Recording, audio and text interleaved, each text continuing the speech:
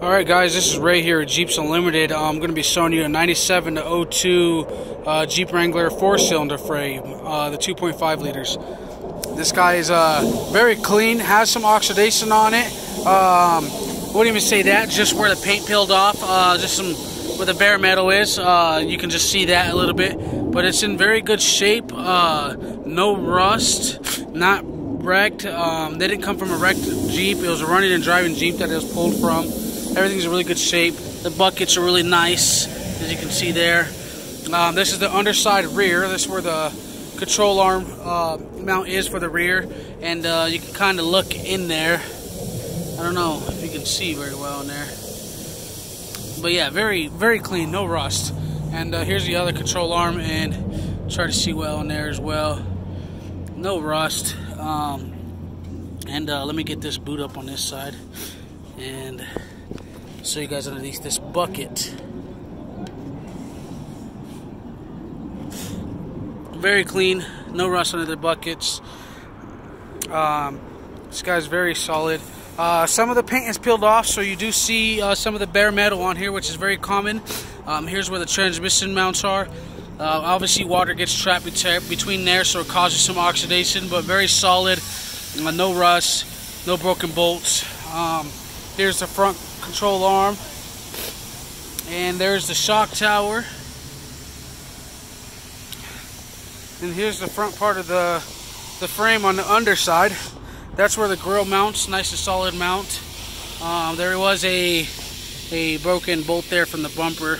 Uh, let me get out of the sun. And same on that side. But those are sticking out, so they're got enough tread on them to get extracted fairly easy if you got some good set extractors.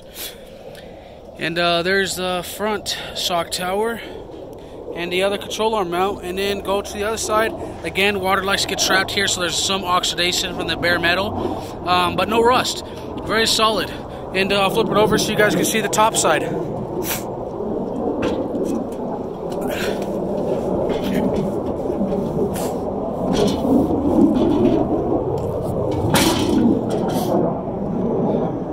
So we'll start from the back of the Jeep. Again, very clean, no rust. Uh, that's some dirt from the water. That happens after we wash them. And uh, there's the top side of the buckets. They're very clean. This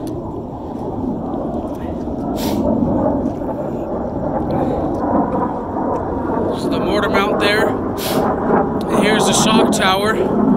Again, some oxidation from the bare metal um, in some spots, but no rust.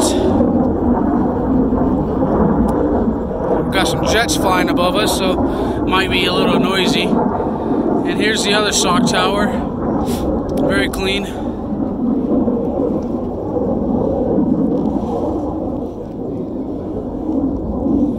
And here's the rear coil spring bucket for the top driver's side.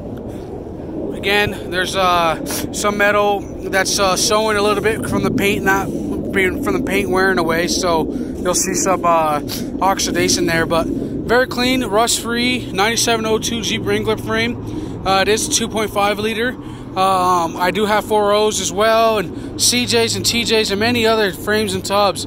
So uh, my name is Ray. I'm probably going to be the guy you guys are talking to when you call for this part or anything else. And uh, yeah, I can answer any questions you have. And uh, here's a detailed photo, photo or video of the frame you guys will be buying from us. Thanks.